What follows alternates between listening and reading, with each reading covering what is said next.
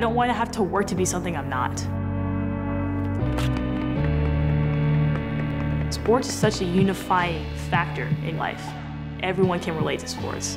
When I was younger, my favorite thing was coming home from school and playing basketball with my friends. That was what I did every single day. But there's definitely been moments where I did feel very different. I've been discriminated against because of my race, gender, sexuality. Not everyone is gonna like you, but that's not your job to make everyone like you. When you work to be something you're not, it gets exhausting. I need to take a step back and look at myself in the mirror and say, well, who is Kayla the person? I don't want to be Kayla Whitney, the 15 year old fast girl. I want to be Kayla Whitney, that fast bitch. Running to me is the most freeing thing. It's you and your feet and whatever surface you're running on.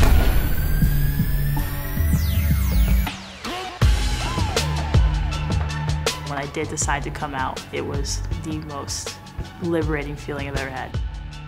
Like I care what other people think, I'm gonna be me. And if I know that I'm gay, I'm gonna be gay. I'm a woman, I am gay, and I am of mixed race. You can be who you want to be, and you can be unapologetic about yourself.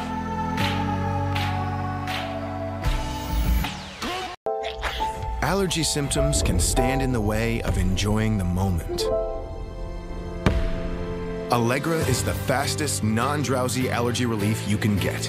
In just one hour, it starts working, helping you break through even the toughest allergy symptoms. For powerful, continuous relief that stays strong for a full 24 hours. Get back to the moment with Allegra.